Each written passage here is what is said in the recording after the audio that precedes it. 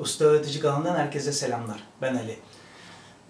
Bu koronavirüs süreci boyunca evimizde oturduk. Fark ettim ki ekmeklerimizi de evde yapıyoruz ama yaparken abartıyoruz. E, ekmekler kuruyor kalıyor. Bu ekmekleri değerlendirmek için harika bir tarifim var.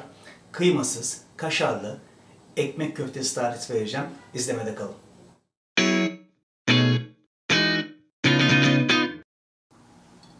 Evet hemen ekmek köftemizin yapımına geçiyoruz.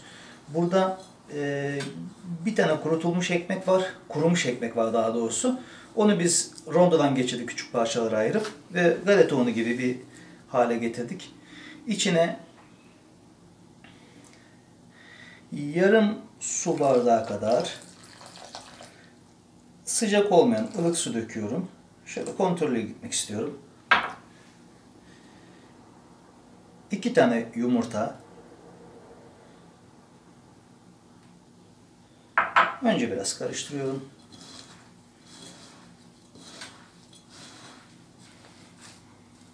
Suyundan biraz daha ilave edeceğim.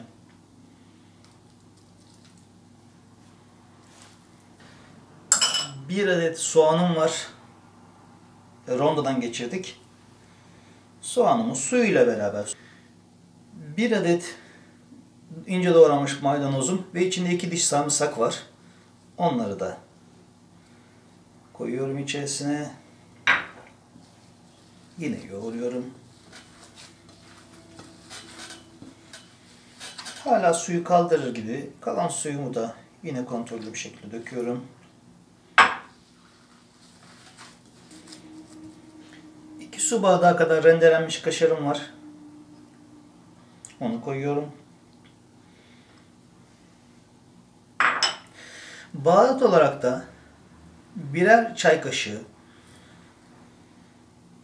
tuz, karabiber ve kekik, kırmızı pul biber ve nane var. Onları da koyuyorum. İsteğe bağlı sebze çeşnisi koyabilirsiniz. Benim elimde güzel bir sebze çeşnim var. Ondan biraz koyacağım. İçinde çok farklı baharatlar var. Çok lezzet veriyor. Ve yoğurtmaya devam ediyorum.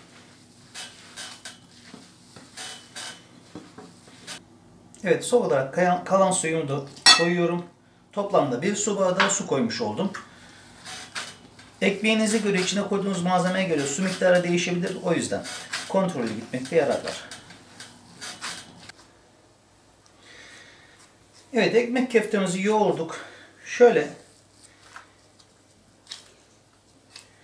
ceviz büyüklüğünde parçalar alıp bu şekilde onu yuvarlıyoruz.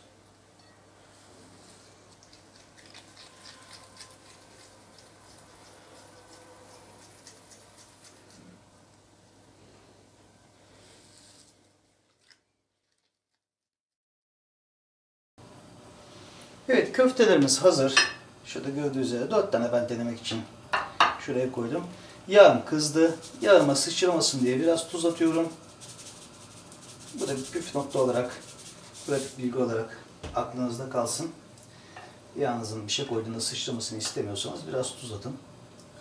Şöyle dikkatli bir şekilde köftelerimi yağın içine bırakıyorum.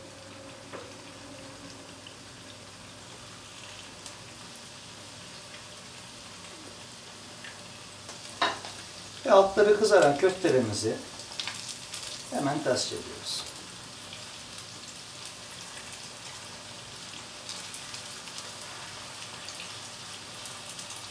Gördüğünüz gibi nar gibi kızardılar.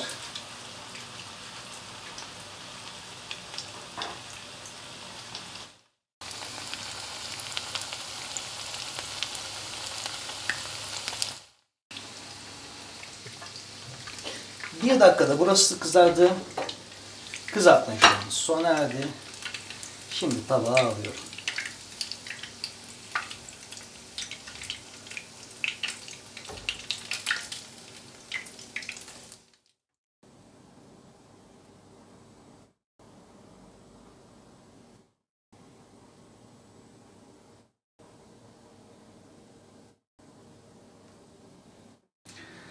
Evet, köftemiz hazır. İnanılmaz bir görüntü var. Şöyle yakından göstereyim size. Hemen bir tadım yapmak istiyorum. Şöyle önce bir sade ısıracağım.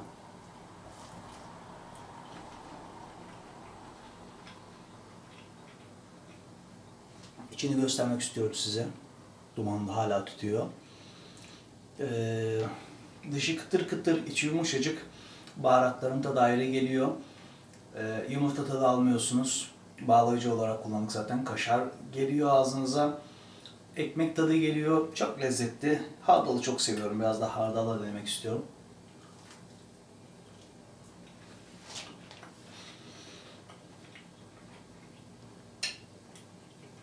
İnanılmaz güzel bir yemek. Mutlaka denemeniz lazım. Evde deneyin. Altta yorumları yazın. Ee, beğenip paylaşırsanız seviniriz. Başka bir videoda görüşmek üzere. Hoşçakalın.